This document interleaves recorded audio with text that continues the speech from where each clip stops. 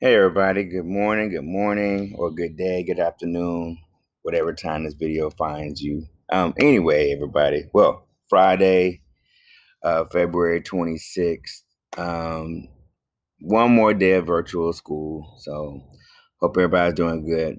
Um, all right, so we look at the screen here. We have, um, you know, we're done with the week, obviously. Um, Friday, um, go and do your warm up, get that done. Um, again, like always, it's for attendance purposes. So your response locks you in for today's attendance. And then today we're going to be working on sharecropping and um, basically comparing uh, sharecropping with tenant farming as well as sharecropping with slavery. And so one of the things that um, we're working on today is being able to get that completed.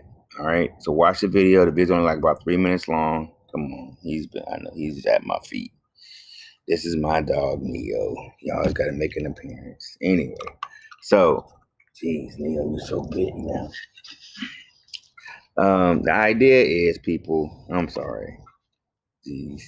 Uh, the idea is he likes Honey Nut Cheerios sometimes, so what can I say?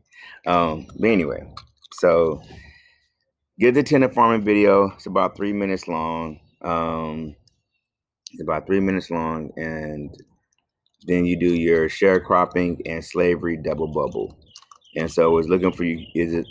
So if I look, if I open that up, there are some notes here. Okay, buddy. Okay.